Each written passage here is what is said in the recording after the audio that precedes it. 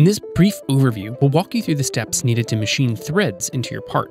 And before we go any further, huge shout out to NYC CNC and John Saunders, who have several in depth videos on this topic. You can find links to them in the description below. In order to set up the cam for thread milling, you'll need two important numbers.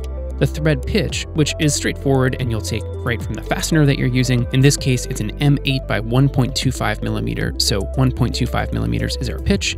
The other number is our pitch diameter offset. Every machine screw has a major and minor diameter, marking the respective crest and root of the threads. The reason why you can't just blindly input these numbers is because the tools we use for thread milling don't always come to a fine point. They're rounded off. The calculator takes this into account and spits back out a pitch diameter offset. Again, more info on this in John's video.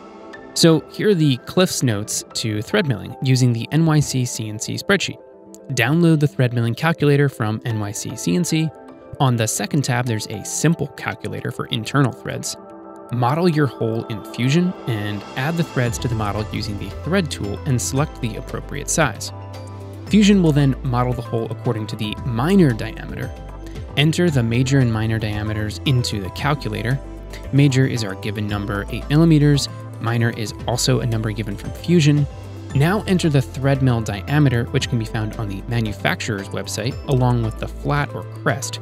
We're actually going to use a double angle shank cutter from Harvey that's ground to a fine point, but there will still be some flat, so we're entering 1 thousandth of an inch to start.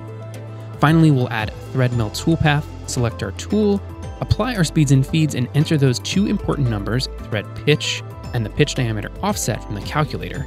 If at first the thread is too tight, you can increase that offset number by a couple thousandths of an inch at a time until your threads fit perfectly.